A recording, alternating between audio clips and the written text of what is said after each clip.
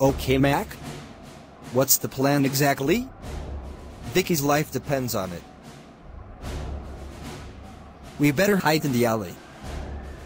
Okay, here's the plan. We have to use Samir's time machine to travel to the Mars space station. I'll do anything to save my wife. Vicky. You're here. You're alive.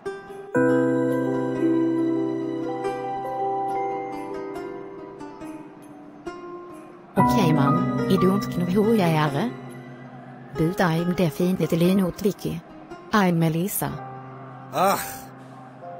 Oops. Sorry. It's just that you look a lot like my wife, Vicky. That's completely understandable. All lot of men mistake me as their wife or girlfriend. Ah. I can't believe I did that. I feel like I'm losing my mind. Paul, I know you miss Vicky. So do I, but you have to think positive. I'll try, Mac. I'll try.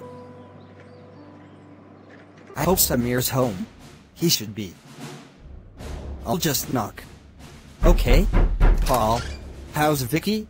Not good. Mac and I need to borrow your time machine to travel to Mars. To find a cure. No problem. Come with me.